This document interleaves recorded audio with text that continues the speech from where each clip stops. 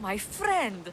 You are a gift from Poseidon himself. I try my best. I'm going to need that artifact from you now. First, my pay. I don't think so.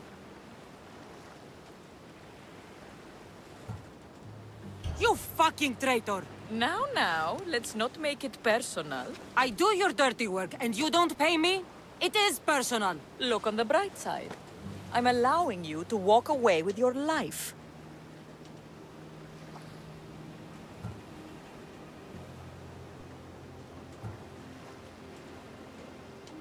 Here's your treasure. I hope it's cursed. I could tell you were a smart one. Satisfied? Yes! Now get off my fucking ship!